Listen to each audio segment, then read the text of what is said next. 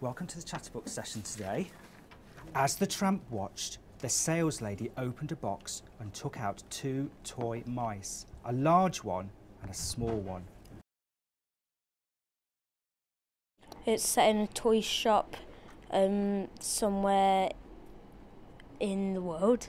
You first meet a tramp, uh, the mouse and his child, and a little black and white spotted dog. and an elephant and A seal. seal. They're all wind-ups. At midnight, they can they have the ability to talk. some people come along and buy them and take them home to their children as a Christmas present. They dance underneath the Christmas tree. They get thrown in a bin because they're flat and they've been broken. and they're there for a few weeks and then a tramp comes along and pick, takes them out and goes back to the scrapyard. Some Manny Rat and some other rats. Manny Rat takes him back to his place and um, his assistant Ralphie takes them to the bank to steal some food from Manny.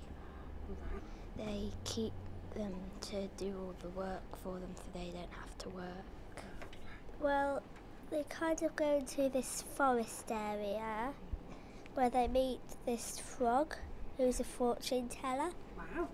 The frog says that they've got a long and hard journey ahead of them. And they meet all the other these other characters. A crow who's part of this performing thingy. The mouseless child find the doll's house um, and the dolls that live in it and the seal and the elephant and the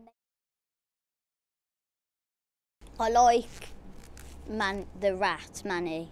Uh, I don't really know why, and I like all of them.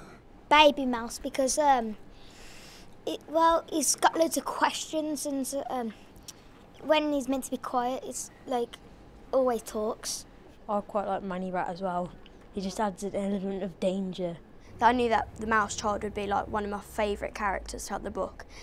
Uh, same reasons as Finn, he's really funny and he wanted uh, the elephant from the doll's house to be his mama. It's really funny, it's really sweet.